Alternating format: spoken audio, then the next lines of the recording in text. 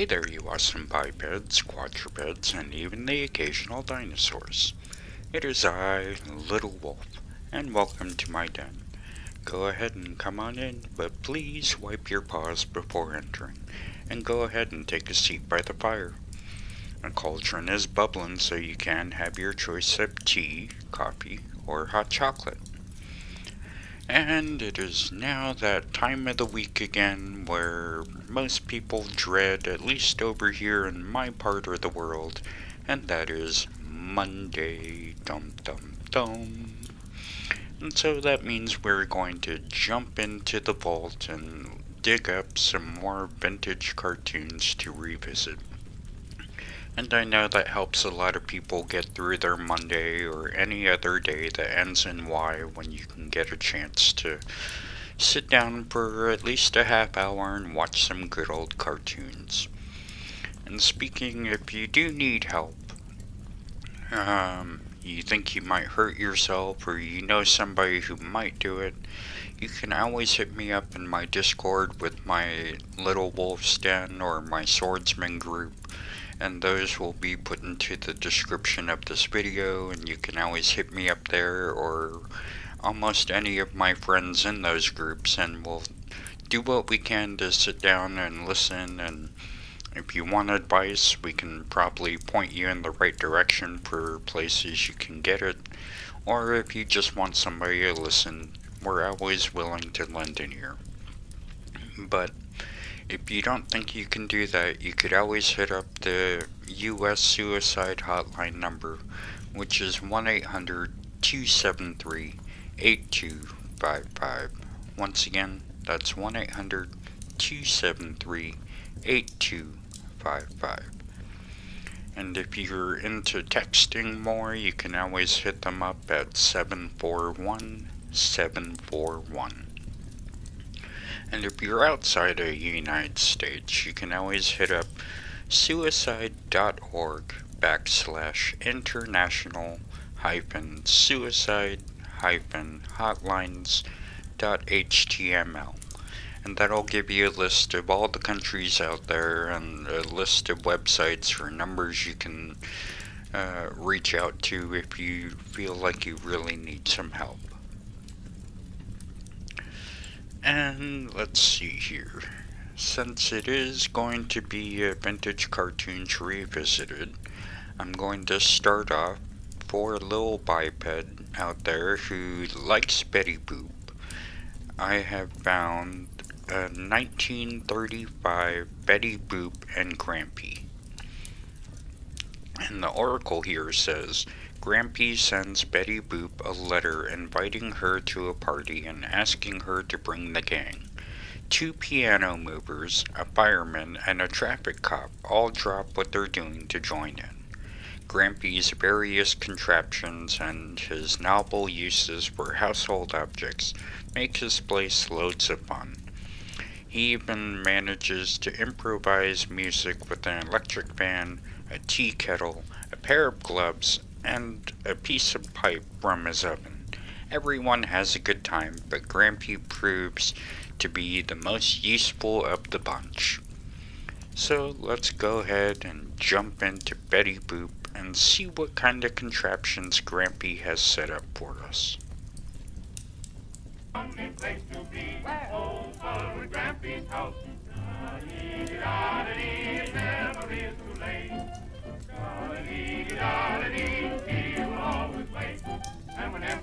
Everybody's resting, he is always full of pep. Everybody's gonna be where? Old Larry Grampy's house.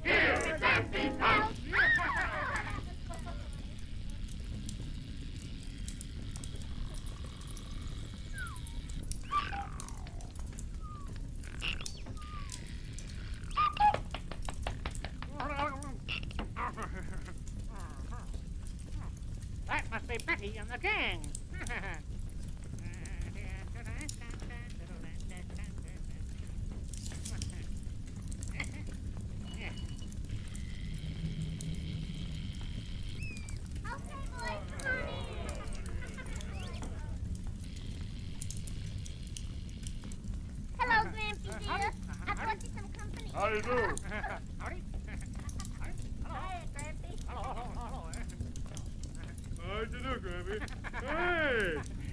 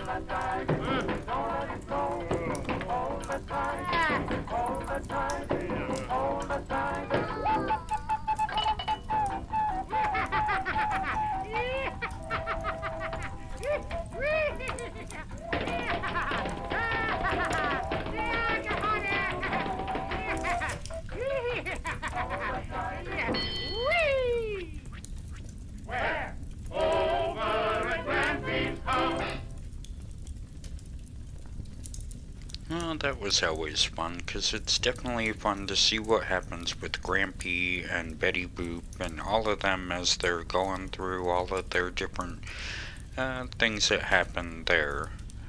And it, I just really enjoy Betty Boop and all of the different things that happen, and especially seeing the inventions that Grampy makes up. Okay, so let's move on to our next one, and I hadn't done a Superman one in a while, and so I found Superman the 11th Hour from 1942. And it says Superman is responsible for several acts of sabotage at the Yokohama Navy Yard in Japan. Lois Lane is held hostage, but Superman saves the day and Yes, of course he does. He's Superman. How could he not save the day? But hearing all of that is different from seeing it, so let's go ahead and sit back, relax, and see what happens with Superman in Japan.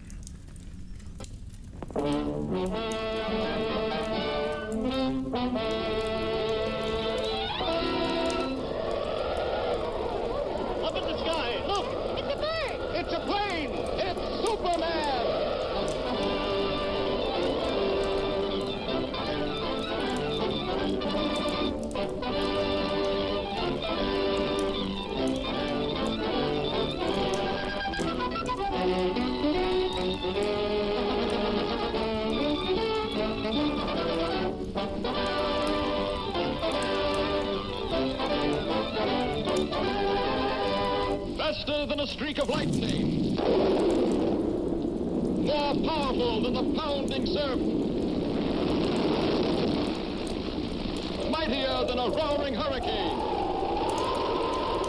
This amazing stranger from the planet Krypton, the Man of Steel, Superman.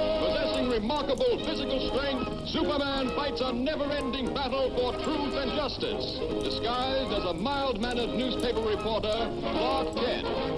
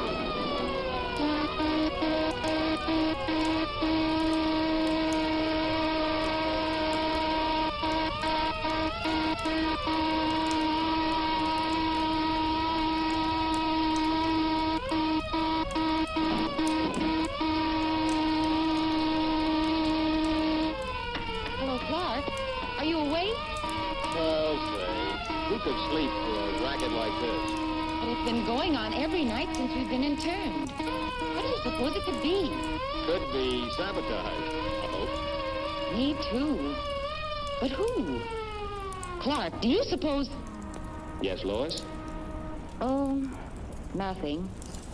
Just a silly hunch that maybe Superman might be over here. Quiet! Do not talk! Shanasta! I sabotage must stop at once! Konetawa!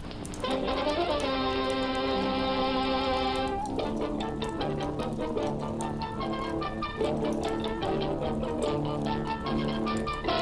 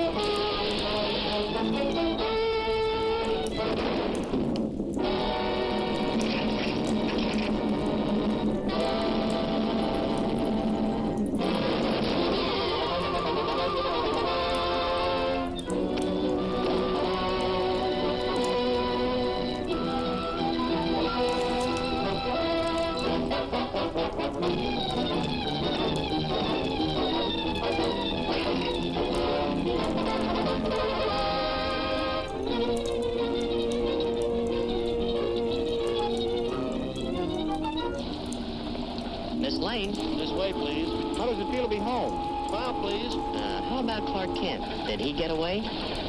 No. No, he's still over there. But don't worry. Superman promised to look after him.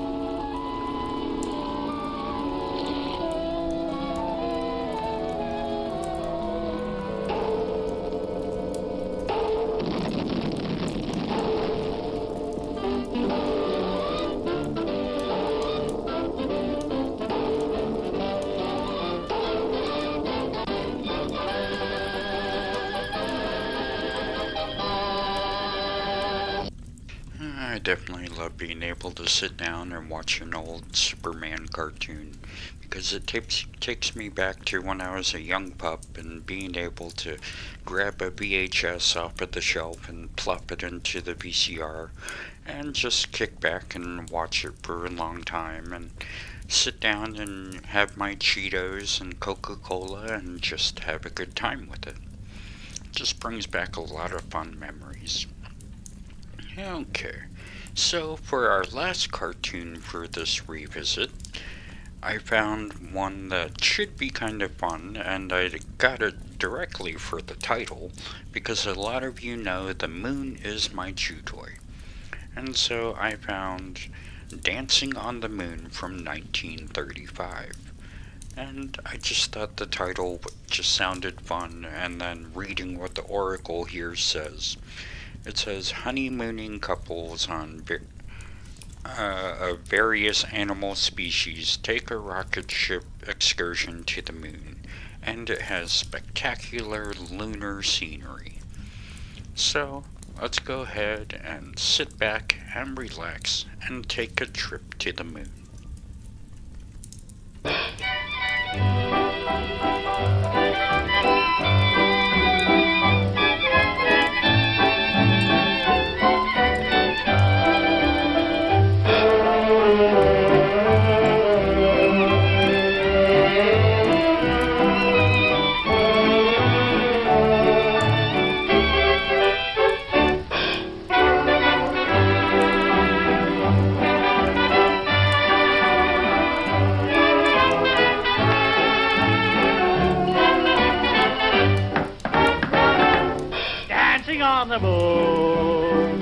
Your girl in your arms, far away from all the crowds, up above the silvery clouds.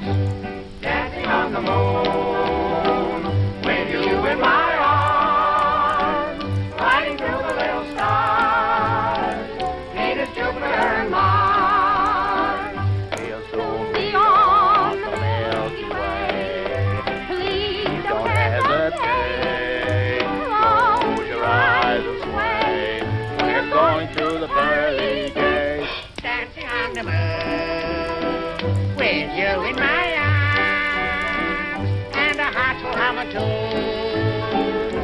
we're dancing on the moon.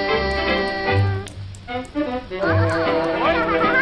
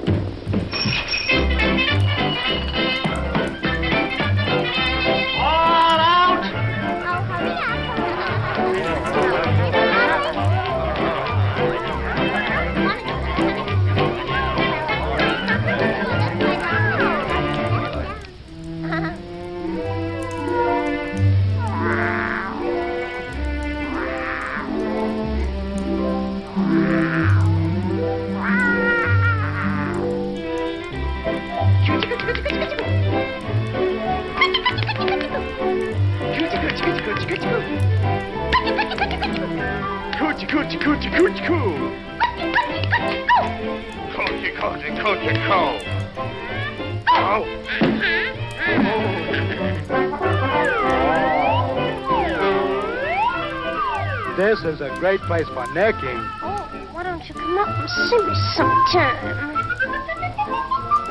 Oh. Mm.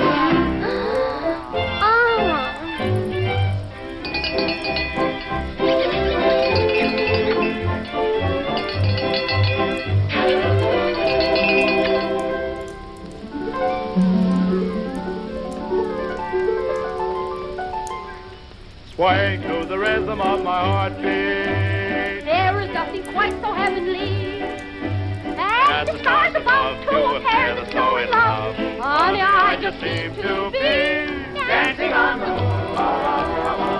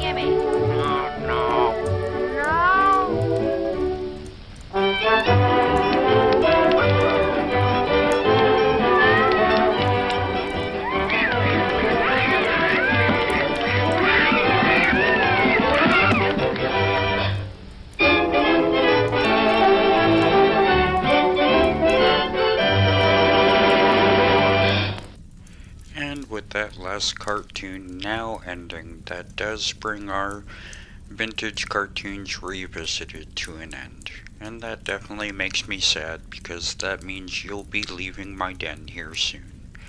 But the den will always be open whenever you need it, whenever you need a break from life, and to just kick back, either watch some old cartoons, or look up some old movie reviews that I've done, or listen to some old radio plays, or whatever jumps into my head at the time to make a video on.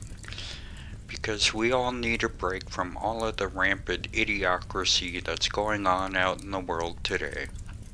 And it's definitely a tough time, and it's definitely been a rough month for just about everybody going through it, and it's it's not gonna be easy, but we gotta be able to stick together and take care of those all around us, and we'll definitely be able to make it through it. And it's going, it's not going to be easy, but just so you know, my den will always be open to anybody who needs a break. I love all of you guys so much, and you're the reason why I keep doing these. Especially putting up my cartoons, because I know it helps a lot of people get through Mondays, and it gives them something to look forward to. And now on my Wednesday ones, hopefully gonna set that up and do some old uh, radio plays, and I'm thinking Friday to try and make that the fireside chat or the fireside tales and see what happens. And I here and there I'll periodically put in just a random video of whatever pops into my little wolf brain. And just to share more of my stuff that goes on inside my head with all of you folks here in my den. And to help out people even more, please keep on masking up. Go out and get your shots. And keep social distancing and soon we'll get all of this stuff to calm down a little bit more to a point where we might be able to have a little bit of normalcy going back into our world.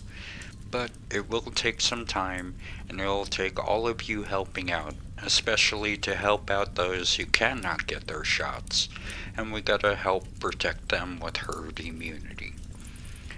And so, with that being said, I love all you bipeds, quadrupeds, and even the occasional dinosaurs so much. So, until next time, Wolf out.